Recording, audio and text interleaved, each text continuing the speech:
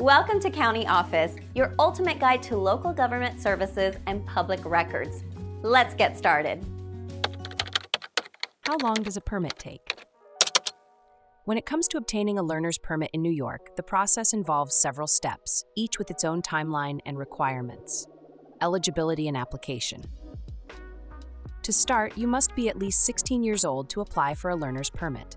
If you are under 18, a parent or legal guardian must accompany you to the DMV and sign the consent section of the application form, MV44. Preparation and documents. Before heading to the DMV, you need to complete the application form and gather the necessary documents, including proof of identity, age, and residence.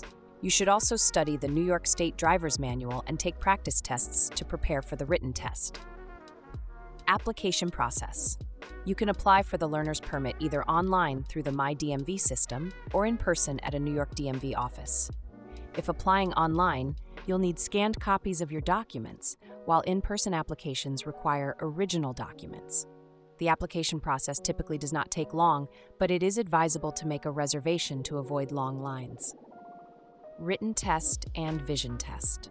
At the DMV, you will need to take a written test based on the driver's manual, which consists of 20 questions.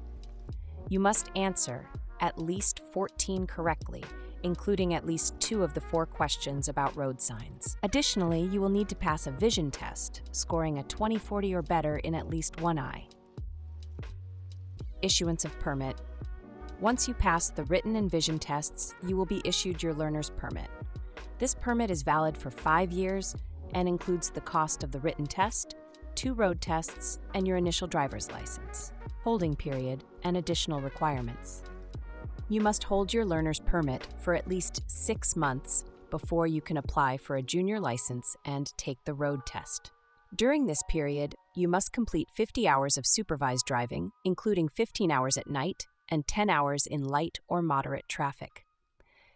You also need to complete a five hour pre licensing course or a driver education course. Fees The fee for a learner's permit varies based on your age and the type of license you are applying for. There is also an additional Metropolitan Commuter Transportation District MCTD fee for residents of certain counties.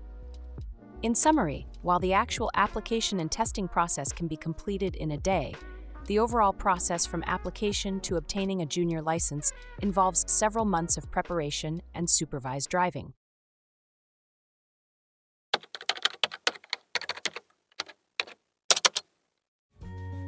To learn more, check out these links, which you can click in the description below. And feel free to comment your questions. We're here to help. Thanks for tuning in to our video. Please like and subscribe and leave a comment below. See you in the next video.